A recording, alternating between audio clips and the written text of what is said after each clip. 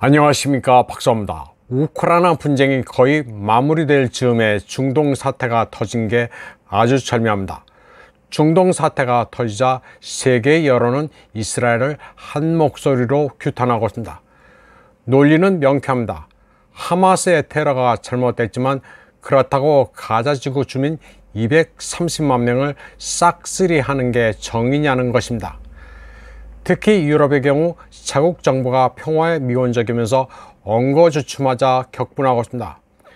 물론 파리와 런던 같은 곳에 무슬림 이민자가 많아서이기도 하지만 우크라이나 분쟁에 지친 현지 시민들과 야당, NGO 등이 나서서 이스라엘에 대한 지지나 지원을 경고하고 있습니다. 우크라이나 분쟁으로 민생이 파탄한 와중에 집단 사방이 중동 분쟁에 끼어들면 나라가 절단난다는 위기감을 느끼고 있습니다. 물론 우크라이나에 대한 관심은 거의 식었습니다. 우크라이나 분쟁의 속편이 중동전입니다. 여러모로 닮아 있습니다.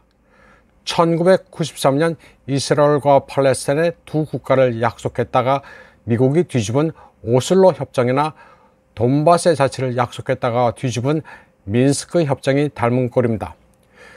또 나라별 진영 구도도 비슷합니다. 지금 중동전을 둘러싼 여론은 압도적으로 팔레스타인 편입니다. 이스라엘 지지도 있기는 하지만 한 줌에 불과하다고 표현해도 무리가 없습니다. 에르도안 터키 대통령도 이스라엘의 무도함을 강력하게 비판했습니다. 그는 밤낮을 가리지 않고 전투기로 도시를 폭격해 어린이를 살해하고 병원, 예배당, 학교, 시장, 빌딩, 거리를 불태우는 나라는 전 세계 이스라엘밖에 없다고 비난했습니다. 이스라엘은 전차, 야포 같은 무기를 동원해 비인도적인 짓을 하는 국가라고 말했습니다.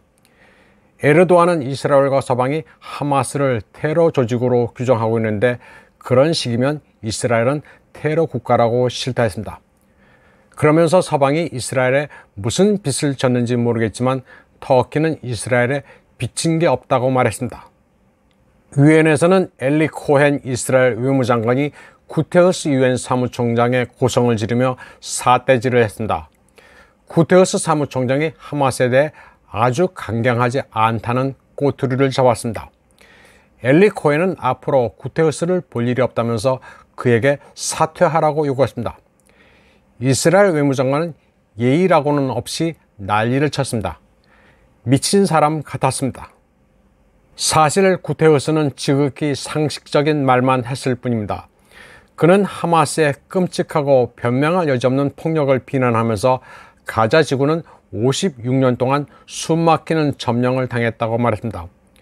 그리고 무력 충돌의 어느 당사자도 국제인도법 위에 있을 수 없으니 가자 지구에 대한 집단 처벌을 멈추라고 촉구했을 뿐입니다. 이런 가운데 네타냐후와 이스라엘 군부 간의 불화설이 나오고 있습니다. 이스라엘 정부는 물론 부인하고는 있습니다. 하마스 기습 이후 즉각 보복을 한다면서 30만 넘는 병력을 소집해 놓고 가자 진격에 왜 뜸을 들이냐는 것입니다. 네타냐후는 이러지도 저러지도 못하고 있습니다. 인지를 무사히 구출할 때까지만이라도 가자 진격을 늦추라는 미국 바이든의 압력이 있기 때문입니다. 또 영국의 수낙과 프랑스의 마크롱도 섣불리 확전을 하면 안 된다고 네타냐후에게 말하고 있기 때문이기도 합니다. 그런데 이 말고도 결정적 이유가 있을 수 있다는 보도도 나오고 있습니다. 포탄 부족입니다. 미국은 그들이 접근할 수 있는 비축 무기 창고에서 우크라이나를 돕는다면서 상당 분량의 155mm 포탄을 빼내 키예프에 전달했습니다. 한국으로부터 155mm 포탄을 요구한 뒤 이를 키예프에 우회 지원한 것과 유사한 케이스입니다. 이제 미국은 부랴부랴 그 부족분을 채워주겠다고 날립니다.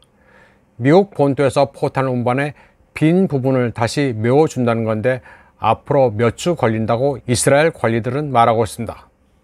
또 설상가상으로 하마스가 10월 7일 5천 발의 로켓 공격을 가했을 때 이를 요격한다면서 아이언돔을 거의 소진했습니다. 그런데 마침 이스라엘은 분쟁이 터지기 직전 타이완에 20세트의 아이언돔을 타이완에 판매해 버렸습니다. 이번 방송은 여기까지 하겠습니다. 시청해주신 여러분 감사합니다.